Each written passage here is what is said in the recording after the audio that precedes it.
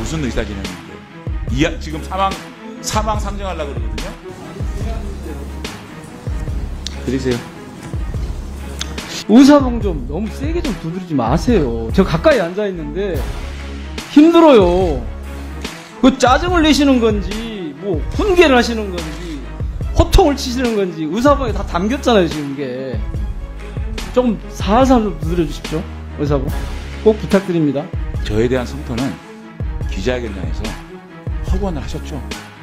네, 전체 회의에서까지 그렇게 하지 마시고요. 방망이를 세게 뚫리나 늦게 뚫리나 제가 그거는 제가 알아서 할 문제니까요. 발언권 바- 발언 2분 다 하셨거든요. 또 드릴까요 발언권?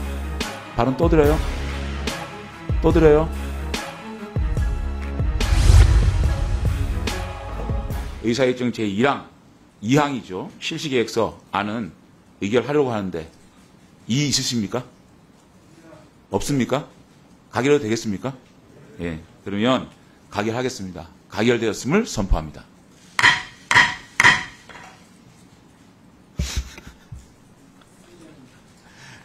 의사진행 발언 나중에 드리면 안 될까요?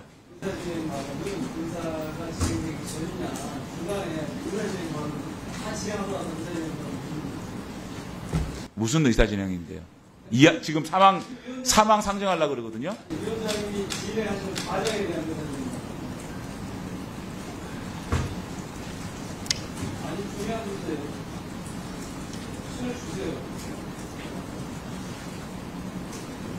드리세요. 위원장님 부탁 말씀 좀 드릴게요. 저는 위원장으로 선출되시고 나서 거의 석 달 만에 제가 과방위로 오고 나서 석 달 만에 처음 위원장님 뵀거든요. 이 자리에서. 그런데 첫 번째 왜 그렇게 위원들의 말을 안 들으세요? 왜 혼자 막 진행하세요? 혼자 막 있고 이유 있습니다 하는데 이유 있단 말 못 들었다. 어, 어떻게 그렇게 진행을 하세요? 일방적으로? 않겠다고 그러시면서?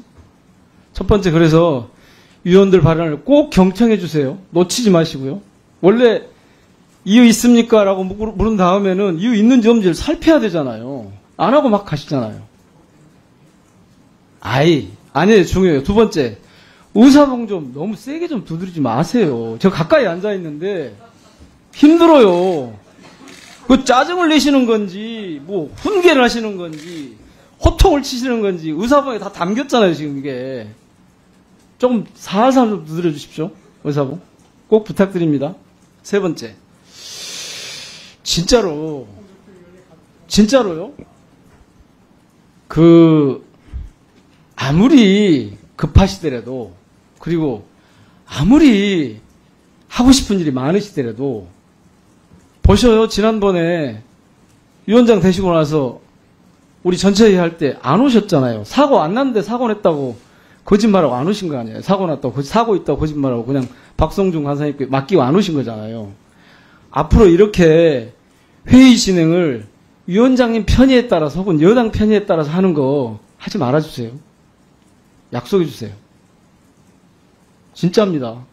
저는 사실은 이 위원회에 와가지고 이렇게 진행되는 걸 보고 야 이거 대한민국 국회 맞나 이게? 전 처음 봤거든요. 선수도 높으시고 저 같은 초선보다 훨씬 경험이 많으시잖아요.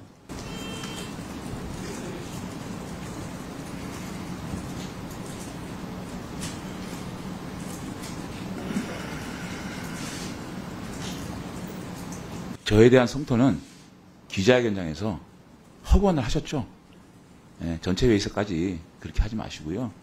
방망이를 세게 뚫리나 늦게 뚫리나 제가 그거는 제가 알아서 할 문제니까요. 발언권 바- 발언 2분 다 하셨거든요. 또 드릴까요 발언권? 발언 또 드려요? 또 드려요?